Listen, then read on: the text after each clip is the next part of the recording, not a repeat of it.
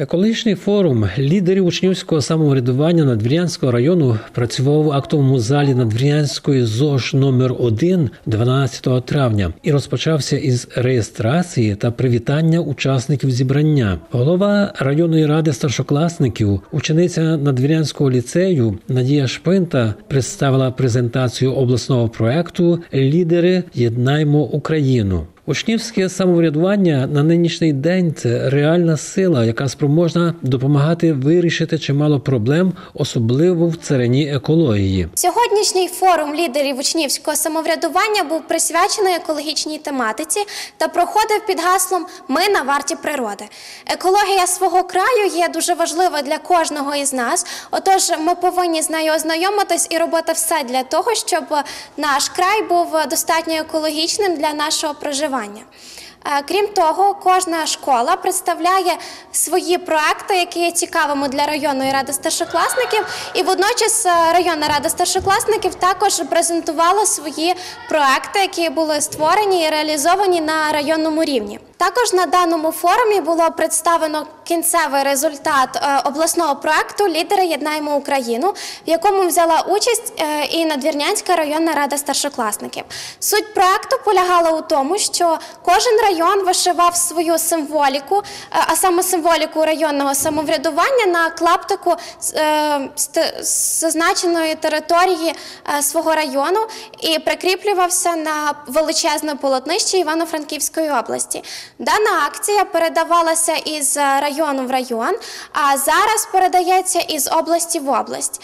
Е, Отож, даний проект є дуже масштабним. Е, Він створений саме лідерами учнівського самоврядування Івано-Франківської області та підтриманий на всеукраїнському рівні. Такі проекти і справді підкреслюють те, що лідери єдині незалежно від того, е, де вони проживають, і відстань не має значення, як і кордони. Про основні напрямки роботи районної ради старшокласників з екологічного виховання школярів розповіла голова екологічної комісії Марія Мандзюк. Людина та природа поняття взаємопов'язані та взаємозалежні. Адже людство існуватиме доти, поки е, існуватиме природні середовище. Екологічне виховання у школі слід починати з молодшого шкільного віку. Спочатку діти вчаться помічати прекрасне та незвичне навколо себе.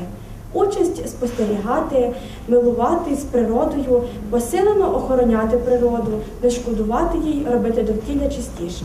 У середніх і старших класах метою такого виховання є усвідомлення учнями масштабів екологічної кризи, знання і розуміння причин і наслідків негативного впливу людства на природні середовище, формування е, нового типу мислення е, вироблення нових ідей зі збереження е, довкілля, посильна практична діяльність спрямована на виявлення нагальних проблем і покращення стану природного середовища. Важливим питанням на форумі була презентація роботи органів учнівського самоврядування загальноосвітніх навчальних закладів. Зокрема, ґрунтовно була розкрита співпраця учнівського самоврядування з шкільним лісництвом. На базі школи діє учнівське шкільне лісництво, яке щорічно бере участь у всеукраїнській акції Ліси для нащадків.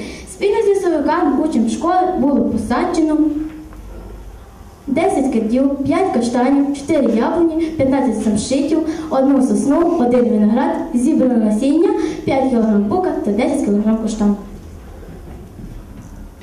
За активну участь у всеукраїнському конкурсі Малі річки життя України грамотою Київського національного еко-натуралістичного центру.